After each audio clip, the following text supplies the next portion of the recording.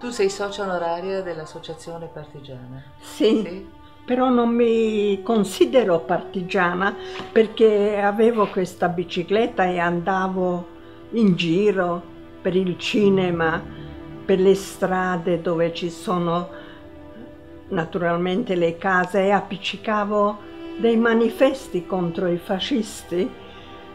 Mettevo sul sedili nel cinema dei manifesti ma non mi considero partigiana.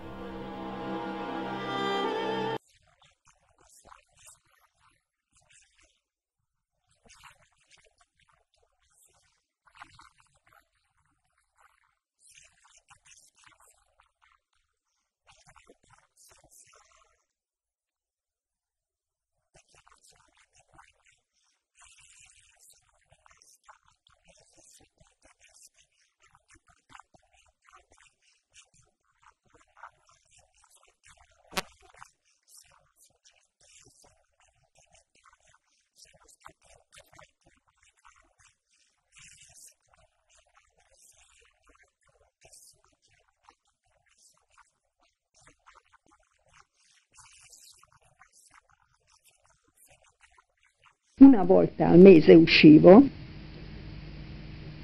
cioè dal verduraio, sì, vicino, per prendere il pane con le carte anonarie. E una volta quando sono uscita, prendere l'autobus, il, il tram,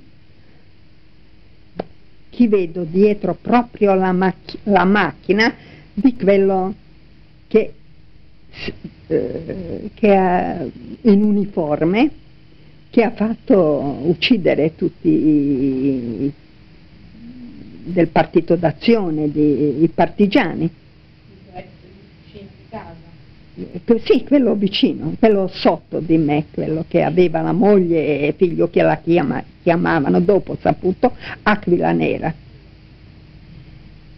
E lui mi vide allora non ho preso il tram, eh, sono andata dritta perché pensavo troverò una casa dove entrare dove c'è una seconda uscita. Una volta sento la rivoltera dietro a me, venga, venga con me. Signora Fischer, signorina Fischer, dico, io non mi chiamo signorina Fischer e proseguivo, no?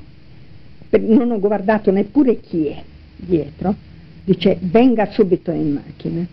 Sono andata in macchina e mi hanno portato fuori città, mi sono anche esposta, un po' esposta dalla macchina, dal finestrino, dico qualcuno vedrà, mi vedrà e dirà alla mamma che, eh, dove sono perché sarà molto preoccupata, no? Così non si che faccia attenzione, no?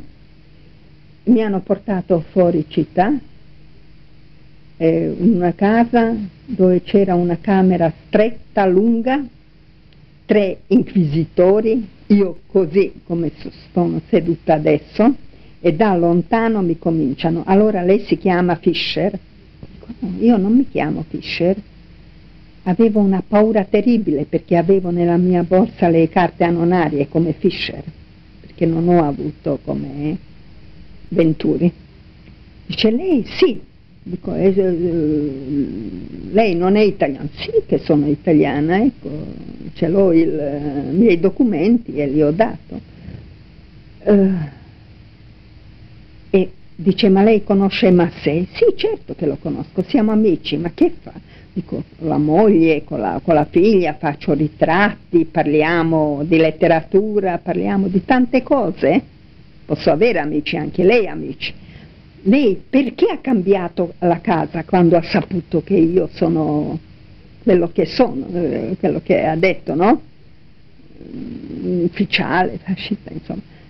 Dico, lei me lo dice, ma io la considero un uomo intelligentissimo. Lei ha cambiato casa perché sapeva certamente dove vengono a bombardare e quando vengono a bombardare lei aveva una paura che correva sempre in rifugio, anche mia madre correva, allora lei ha cambiato casa, ho pensato lei cambia casa perché pensa che forse verranno qui a, a, a bombardare, anch'io ho cambiato per questo.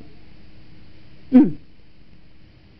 Dovevo lusingarlo in qualche modo. Insomma, dopo due o tre ore di interrogatori, di, di quasi come si chiama, mamma, papà, cioè tutto volevano sapere, hanno detto va bene, vada.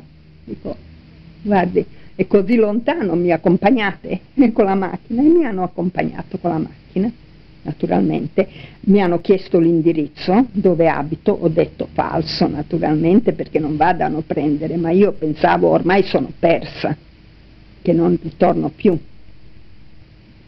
E dopo naturalmente sono rimasta in quella casa e ancora un po' e poi Massei ha detto è meglio che vado a abitare da lui, che abitava con la moglie e figlia e mamma, eh, noi tutti siamo stati fino alla fine della guerra in casa sua.